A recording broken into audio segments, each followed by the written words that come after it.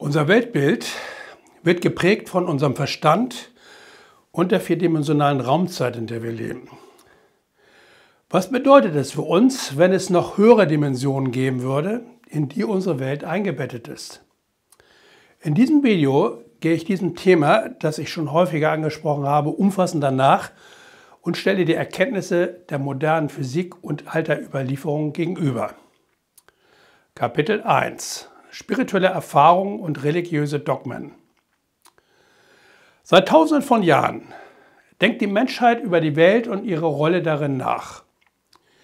Am Anfang wurden die wahrgenommenen Naturkräfte wie Blitz, Donner, Regen und Sturm Göttergestalten wie zum Beispiel Odin zugeordnet.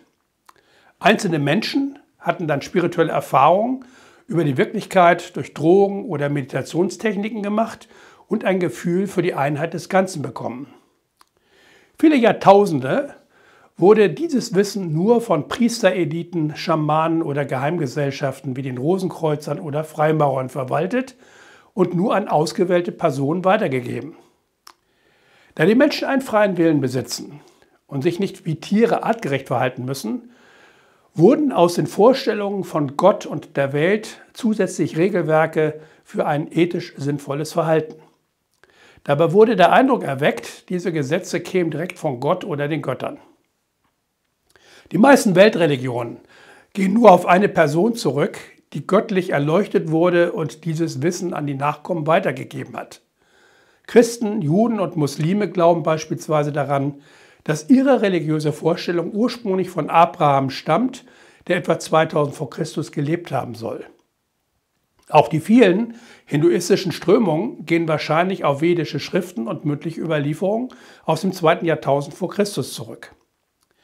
Der Buddhismus wird hingegen auf Siddhartha Gautama zurückgeführt, der um 500 vor Christus in Indien lebte. Trotz der sogenannten Aufklärung ab 1700 nach Christus, den Verstand und die Vernunft zum Maßstab des Wissens machen wollte, gehören heute noch etwa 6 Milliarden Menschen den fünf Weltreligionen an. Die Naturwissenschaften haben seitdem zwar unser Weltbild maßgeblich geprägt, aber die Frage nach dem Sinn und Zweck dieser Welt und des einzelnen Menschenlebens unbeantwortet gelassen. Spirituelle Weltsichten spielen deshalb heute sogar eine zunehmende sinnstiftende Rolle. Besonders Helena Petrovna Blavatsky hat mit ihren Veröffentlichungen viele Inhalte aller spirituellen Geheimlehren bekannt gemacht und damit nicht nur die Theosophie, sondern auch viele esoterische Strömungen ermöglicht. Ihr Ziel war eine Vereinigung von Wissenschaft, Religion, Philosophie und Esoterik. Leider sind die mehr als 3000 Seiten wenig strukturiert und teilweise auch noch schwer verständlich. Trotzdem haben diese Gedanken die spirituelle Gemeinschaft außerhalb der großen Kirchen bis heute inspiriert. Kapitel 2 Die Krise der Naturwissenschaften als ich vor rund einem Jahr diesen Kanal eröffnet habe, begann ich mit zwei Gedanken. Meine Wahrheit ist nicht deine Wahrheit. Und was wir von unserer Welt wahrnehmen, ist nicht die Wirklichkeit, sondern eine Illusion. Heute möchte ich diese Gedanken um das Thema Dimensionen vertiefen. Meine These ist, wir leben in einer multidimensionalen Welt, aber nehmen nur die Raumzeit wahr. Das erklärt meines Erachtens auch die Krise der Naturwissenschaften und unsere Unfähigkeit, das Ganze zu erkennen. Die Wirklichkeit erscheint uns mysteriös, weil wir das Wesen nicht von der Erscheinung unterscheiden können. Wir leben nämlich in einer Welt der Dualität bzw. Polarität, die wir durch unseren analytischen Verstand selbst erschaffen haben. Die Quantenphysik zeigt uns allerdings, wie die Wirklichkeit um uns herum tatsächlich aussieht. Heute wissen wir, dass unsere wahrgenommene und vermessene Welt eingebettet ist in das sogenannte Quantenvakuum, in dem es noch keine Polarisierung und keine Zeit gibt. Dieser Urgrund unserer Welt ist schwer vorstellbar. Dort gibt es noch keine Materie, sondern nur Wellenphänomene, die als virtuelle Schwingungen von potenzieller Energie beschrieben werden. Dort gibt es keine Bestimmtheiten, sondern nur Wahrscheinlichkeiten.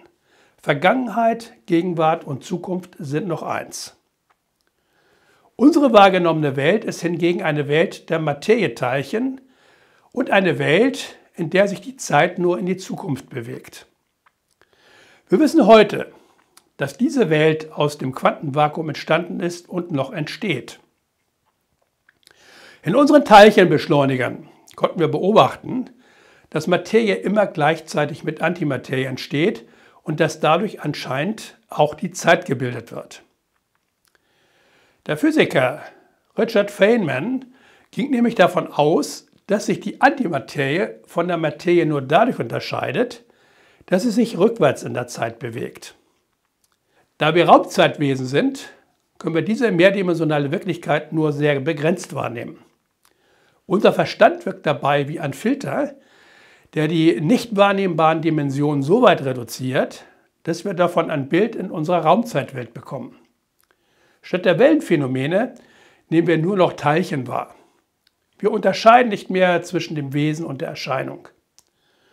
Durch unsere Art des Vermessens und Bewertens sehen wir nicht mehr das Ganze, sondern nur noch Teile. Wir erkennen nicht, dass alles miteinander in Beziehung steht.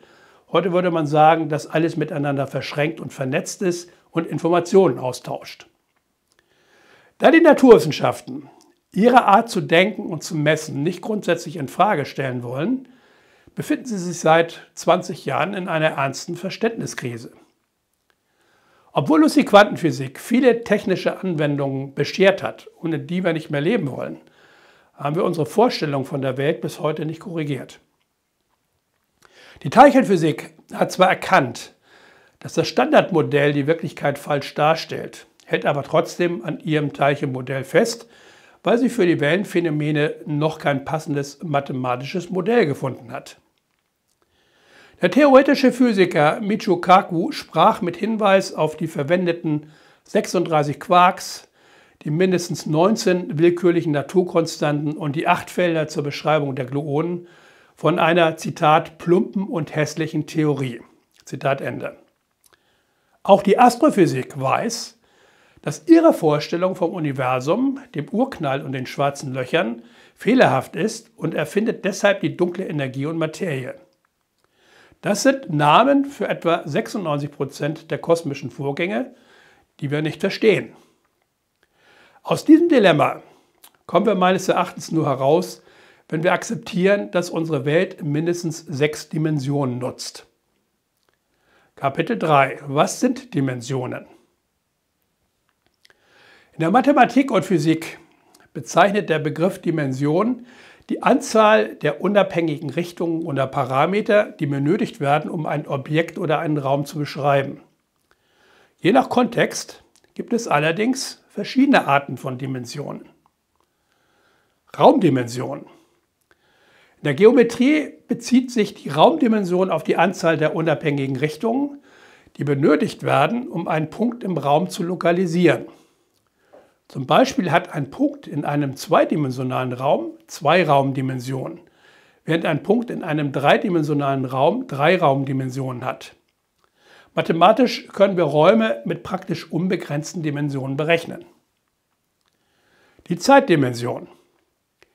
In der Physik wird Zeit oft als eine separate Dimension betrachtet, die verwendet wird, um Ereignisse in der Zeit zu ordnen und zu messen. In der Relativitätstheorie wird die Raumzeit sogar als eine vierdimensionale Struktur betrachtet.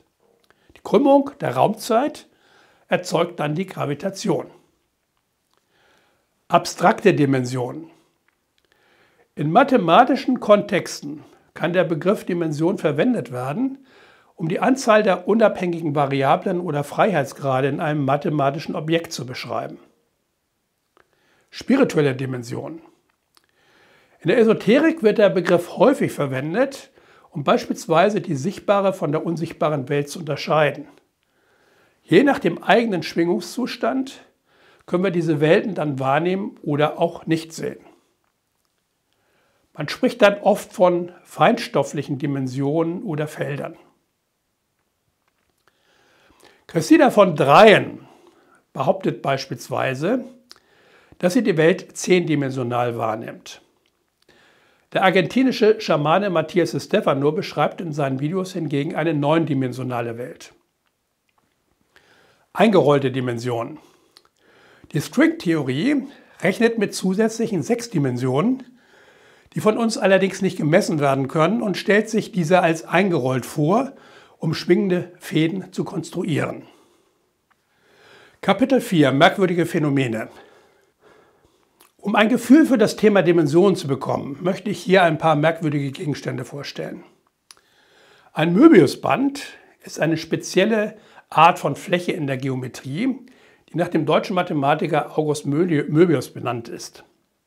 Es wurde einmal vor dem Zusammenkleben gedreht und hat dadurch einige seltsame Eigenschaften. Ein Möbiusband hat nur eine Seite.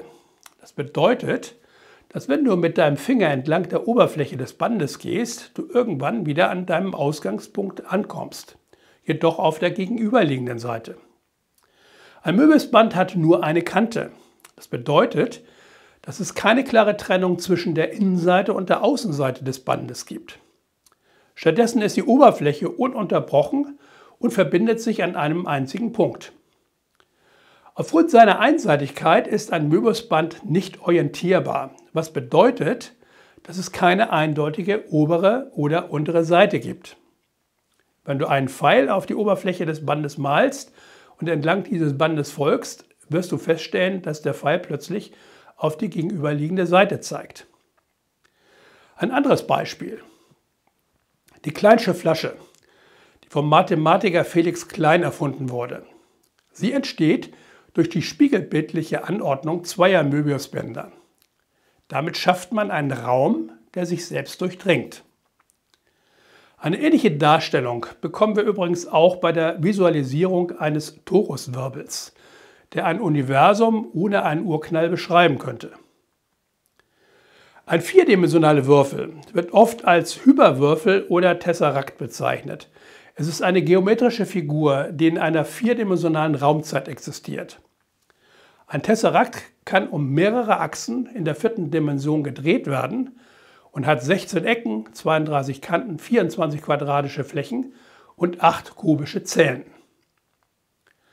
Kapitel 5 Qualität und Quantität.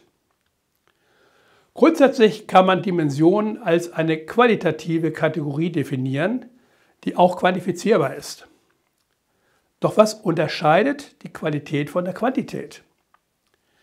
Die Bewertung der Qualität ist abhängig von demjenigen, der die Art oder die Eigenschaften eines Objekts oder Konzepts beschreibt.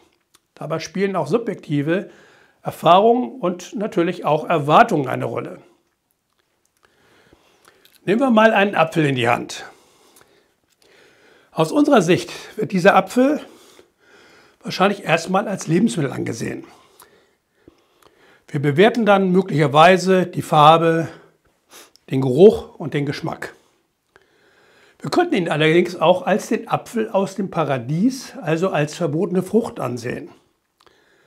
Natürlich könnten wir ihn auch als Samen eines Baumes oder als Anlass für Isaac Newton zur Entdeckung der Schwerkraft beschreiben. Schon ein einfacher Apfel kann durch viele subjektive und objektive Merkmale beschrieben werden. Wir können nie sicher sein, ob wir alle Merkmale erfasst haben. Möglicherweise besitzt ein Apfel auch Eigenschaften, die wir noch nicht kennen. Deshalb können wir das Wesen eines Apfels nicht ganzheitlich, sondern nur in von uns ausgewählten Teilen beschreiben. Wir bewerten oft, indem wir vergleichen. Dann erkennen wir leicht, ob wir einen Apfel oder vielleicht eine Birne in der Hand halten und vergleichen die Form, die Farbe, den Geruch und auch den Geschmack.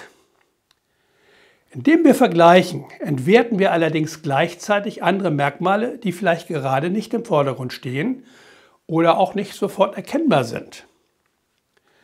Bei komplexen Wesen wie Menschen oder Tieren verwechseln wir oft das Wesen, die Erscheinung, unsere Erfahrungen und unsere Erwartungen. Bewusst oder unbewusst nutzen wir dann vielleicht unsere Intuition, um ein Gefühl für das Wesen und dessen Potenzial zu bekommen. Dabei nutzen wir möglicherweise Informationen, die wir aus einer höheren Dimension beziehen, die uns einen ganzheitlichen Eindruck vermitteln kann. Ein anderes Gefühl scheint auch nicht von dieser Raumzeitwelt zu sein. Wir können dies bedingungslose Liebe nennen. Dann nehmen wir das Wesen eines Menschen ganzheitlich wahr und bekommen sogar ein Gefühl für das Entwicklungspotenzial. Kapitel 6 Mathematische Entdeckung von Dimensionen. Viele Wissenschaftler bzw. Wissenschaftlerinnen haben sich mit, mit, mit mehr als vier Dimensionen beschäftigt, da viele mathematische Konzepte und Theorien in höherdimensionalen Räumen verallgemeinert werden können. Ein paar Beispiele. August Möbius gilt als Pionier der Topologie, also der Lehre von der Lage und Anordnung geometrischer Gebilde im Raum. Auf ihn geht das erwähnte Möbiusband zurück. Bernhard Riemann hat nicht nur bedeutende Beiträge zur Differentialgeometrie geleistet. Seine Arbeit legte den Grundstein für die Untersuchung von mehrdimensionalen Räumen. Er erkannte, dass physikalische Kräfte wie die Gravitation durch geometrische Veränderungen in einer höheren Dimension erklärt werden können. Dies war übrigens ein Grund, warum Einstein das Konzept einer vierdimensionalen Raumzeit entwickeln konnte. Theodor Kaluza und Felix Klein konnten mit der Einführung einer fünfdimensionalen Feldtheorie die Gravitation mit der Maxwell'schen Elektrodynamik vereinen. Hermann Minkowski hat wichtige Beiträge zur Geometrie und zur speziellen Relativitätstheorie geleistet, indem er den Raum mit der Zeit verbunden hat. John von Neumann hat die Quantenmechanik mitentwickelt. Seine Arbeiten beinhalten Konzepte in höherdimensionalen Vektorräumen. David Bohm vermutete hinter unserer realen Welt eine implizite Ordnung, wie er das genannt hat, in der materielle und geistige Prozesse eine Einheit bilden und hat vorgeschlagen, unsere Welt als multidimensional zu begreifen. Kohl Fury von der Humboldt-Universität Berlin sieht eine Verbindung zwischen den Oktaven der Musik und den Elementarteilchen. Die kanadische Physikerin geht davon aus, dass mit den achtdimensionalen Oktonionen, die im Deutschen Oktaven heißen, das Standardmodell der Elementarteilchen erklärt werden kann. Kapitel 7 Hinweise auf höhere Dimensionen.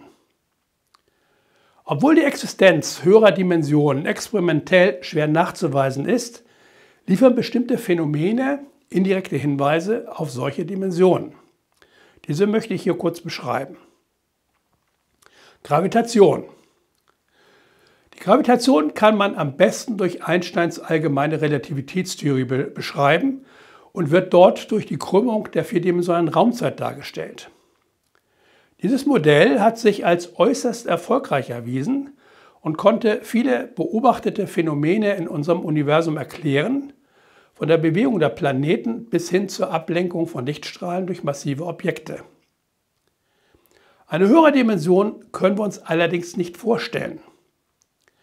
Bernhard Riemann hat aber eine einfache Methode angewandt, damit wir die Auswirkungen höherer Dimensionen besser verstehen. Dabei ist er von einem Strichmännchen ausgegangen, das sich über eine zweidimensionale Ebene, also ein Blatt, bewegt. Er hat sich dann gefragt, wie dieses Männchen ein zerknittertes dreidimensionales Blatt wahrnehmen würde, wenn es die dritte Dimension nicht sehen kann. Das Männchen würde diese geometrische Veränderung als Kraft wahrnehmen. Wenn es den Berg hochgehen würde, würde die Anstrengung steigen und ins Tal würde es leichter werden. Dieses Wesen kann zwar die höhere Dimension nicht sehen, aber fühlen. Dunkle Energie. In einigen kosmologischen Modellen könnte die sogenannte dunkle Energie, die die beschleunigte Expansion des Universums antreibt, auch ein Hinweis auf höhere Dimensionen sein. Die Existenz von zusätzlichen Dimensionen könnte die Geometrie des Raumes und der Raumzeit auf eine Weise beeinflussen, die zur beschleunigten Ausdehnung beiträgt. Symmetrien. Die Symmetrien in den physikalischen Gesetzen können darauf hindeuten, dass die Natur in höheren Dimensionen organisiert ist. Symmetrien in den physikalischen Gesetzen, wie beispielsweise die Lorentz-Invarianz, spiegeln grundlegende Prinzipien wider, nach denen die Natur organisiert ist. Schwarze Löcher. In einigen Szenarien werden schwarze Löcher als Objekte betrachtet, die sich in höherdimensionalen Raumzeiten bilden können. Die Existenz zusätzlicher Dimensionen könnte die Randbedingungen für schwarze Löcher verändern und neue Möglichkeiten für die Freisetzung von Gravitationswellen bieten. Die große Frage ist immer noch, was mit den eingesaugten Objekten, dem Licht und der Information nach dem sogenannten Ereignishorizont tatsächlich passiert. Möglich ist es auch, dass schwarze Löcher über sogenannte Wurmlöcher verschränkt sind.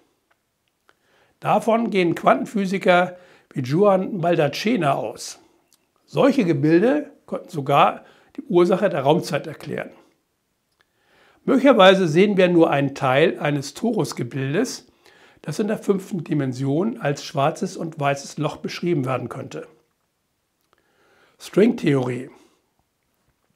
Die Stringtheorie ist ein physikalisches, mathematisches Modell, das die fundamentalen Bausteine der Natur als winzige schwingende Strings beschreibt, anstatt als punktförmige Teilchen. In der Stricktheorie werden die zusätzlichen Dimensionen oft durch winzige, kompakte Raumstrukturen namens Calabi-Yau-Mannigfaltigkeiten modelliert. Diese wären praktisch unsichtbar und könnten auch nicht gemessen werden. Verschränkung. In der Quantenmechanik ist Verschränkung ein Phänomen, bei dem zwei oder mehr quantenmechanische Systeme auf eine Weise miteinander verbunden sind, die durch klassische Mechanismen nicht erklärt werden kann. Aus der Verschränkung konnte theoretisch auch die Zeit entstehen und sogar Verbindungen zwischen verschiedenen Regionen der Raumzeit. Der Tunneleffekt. Nach den Gesetzen der Quantenmechanik können Teilchen Hindernisse durchtunneln, wie man so sagt. In vielen Experimenten hat man diesen Effekt nachgewiesen. Teilweise geht man sogar von Geschwindigkeiten oberhalb der Lichtgeschwindigkeit aus. Zyklische Zeitmodelle. In einigen kosmologischen Modellen, wie dem zyklischen Universum oder dem Konzept der Zeitzyklen, wird angenommen, dass die Zeit nicht nur eine lineare Entwicklung hat, sondern durch wiederkehrende zyklische Prozesse charakterisiert wird. Diese zyklischen Modelle könnten durch höherdimensionale Strukturen unterstützt werden, die verschiedene Zeitaspekte miteinander verknüpfen. Kapitel 8 Theoretiker höherer Dimensionen Albert Einstein konnte schon mit seiner vierdimensionalen Relativitätstheorie zeigen, wie sich kosmische Phänomene wie die Ablenkung des Lichts und die schwarzen Löcher erklären lassen und wie die Gravitation wirkt. Kalusa und Klein konnten mit der Einführung einer fünften Dimension die Relativitätstheorie mit der Elektrodynamik verknüpfen. Theoretische Physiker haben deshalb auch mathematisch überprüft, was passieren würde, wenn man noch mehr Dimensionen einbezieht. Theoretisch wären dann wohl alle bekannten physikalischen Kräfte, Teilchen und Naturkonstanten in einem vereinheitlichten Modell darstellbar. Der Physiker Burkhard Heim hat wie der theoretische Physiker Roger Penrose eine sechsdimensionale Theorie entwickelt, nach der auch der Mensch sechsdimensional zu beschreiben wäre und das Universum sich aus einer einfachen Raumzelle entwickelt hätte. Seine Massenformeln zu den Elementarteilchen hat übrigens das DESI Hamburg überprüft und die Richtigkeit bestätigt. Es soll auch die Naturkonstanten mit seinem Modell erklärt haben. Ausgangspunkt waren die drei Raumdimensionen, die den Ort durch Messung von Längen beschreiben und die Zeitdimension, die die Bewegung ermöglicht und die Dauer misst. Heim hat zusätzlich noch die fünfte Dimension mit dem Begriff Entelechie eingeführt. Gemessen werden sollte dies als Strukturkoordinate. Im Unterschied zur Entropie als ein Maß der Unordnung hat er also ein Maß für die Ordnung eingeführt und die Ähnlichkeit mathematisiert. Die sechste Dimension hat er etwas missverständlich als Äon bezeichnet. Diese Dimension soll durch eine Zieldynamik gemessen werden können. Bis heute ist die Theorie von Heim noch wenig überprüft worden. Das hat sicher damit zu tun, dass er Qualitäten wie Form und Gestalt und die Entwicklungsziele mit schwierigen mathematischen Formeln quantifizierbar gemacht hat. Außerdem setzt er damit Informationsprozesse voraus, die eher geistiger Natur sind. Damit hat er einen Bereich jenseits von Raum und Zeit beschrieben und geistige Begriffe wie Ideen und Absichten in die Welt der Physik eingeführt. Doch den Geist wollte die Physik gerade im Zusammenhang mit der sogenannten Aufklärung aus unserem Weltbild vertreiben. Es gibt auch noch ein anderes sechsdimensionales Modell von unserer Welt, das ich nicht unerwähnt lassen möchte. Der theoretische Physiker D.V.B. Larson hat ein reziprokes System zwischen dem dreidimensionalen Raum und einer dreidimensionalen Zeit von Vergangenheit, Gegenwart und Zukunft unterstellt. In der sichtbaren Welt weist der Zeitpfeil in die Zukunft, in der unsichtbaren Welt allerdings in die Vergangenheit. Diese beiden Welten sind nicht getrennt, sondern durchdringen sich wie in einem Torus gegenseitig. Dadurch entsteht ein fraktal holographisches, in sich vernetztes Universum. Das Ganze spiegelt sich in allen Teilen wider. Wir haben dann ein pulsierendes System von Kontraktion und Expansion. Die Dichte der Zeit würde sich entsprechend ändern. Dieses Modell würde vielleicht am besten zu den spirituellen Erfahrungen der Menschheit passen und auch viele paranormale Phänomene erklären können. Es würde allerdings auch erklären, warum wir die Antimaterie mit dem rückwärtigen Zeitpfeil nicht messen können, obwohl sie nach der Quantenphysik gleichzeitig mit unserer Welt entstanden sein muss. Die Fixierung der Physik auf Materieteilchen, physikalische Kräfte und eine eindimensionale Zeit scheint der wahre Grund dafür zu sein, dass unser wissenschaftliches Weltbild so viele Lücken hat. Die Naturwissenschaften halten bislang an der Vorstellung fest, dass alles mit Zufällen erklärt werden kann und schließen ordnende Kräfte wie gezielte Informationen aus. Dabei ist nicht zu übersehen, dass es eine Gegenkraft zur Entropie gibt, die immer komplexere Formen und das Leben erzeugt und nicht mit der Gravitationskraft erklärt werden kann. Unsere Welt wird bestimmt durch Energie, Zeit und Information. Höhere Dimensionen könnten die Kräfte erklären, die wir hier messen können. Damit könnten wir möglicherweise auch erklären, welchen Sinn diese Welt hat und was das für unsere eigene Rolle bedeutet. Kapitel 9. Was könnten wir aus der fünften Dimension tun? Wir können uns dies eigentlich nicht vorstellen, aber ahnen, wenn wir unsere Dimensionen fortschreiben. Wir könnten nämlich durch Wände gehen, plötzlich irgendwo auftauchen und verschwinden und in einen Gegenstand hineingreifen, ohne ihn zu öffnen. Nach dem Physiker Michio Kaku hätten wir damit, Zitat, gottähnliche Fähigkeiten. Viele paranormale Fähigkeiten könnten also erklärt werden, wenn man eine höhere Dimension annimmt. Möglicherweise können wir uns dann auch erklären, warum beobachtete UFOs manchmal plötzlich verschwinden. Besser vorstellen können wir uns diese Dimensionsphänomene, wenn wir uns in eine zweidimensionale Welt hineinversetzen würden. Schon 1884 hat Edwin Abbott in seinem Roman Flatland diese bizarre Welt aus der Sicht eines Quadrats beschrieben und gezeigt, dass wir, Zitat, Sklaven unserer dimensionsbedingten Vorurteile sind. Das zweidimensionale Wesen trifft dann auf eine Kugel aus der dritten Dimension und sieht natürlich nur einen Kreis, dessen Durchmesser sich je nach Schnittpunkt verändert. Das Quadrat lernt, was die Kugel alles in seiner zweidimensionalen Welt an Wunder vollbringen kann. Mein Fazit. Es gibt viele Hinweise auf mehr als vier Dimensionen. Damit könnten wir nicht nur die physikalisch messbaren Kräfte und die Elementarteilchen aus dem Standardmodell erklären, sondern wahrscheinlich auch Kenntnisse über die wirkliche Natur und den Zweck unserer Welt bekommen. Es sieht danach aus, als wenn die moderne Physik und Mathematik auch uralte spirituelle Erfahrungen verifiziert, indem ein mehrdimensionales und holographisches Universum beschrieben wird.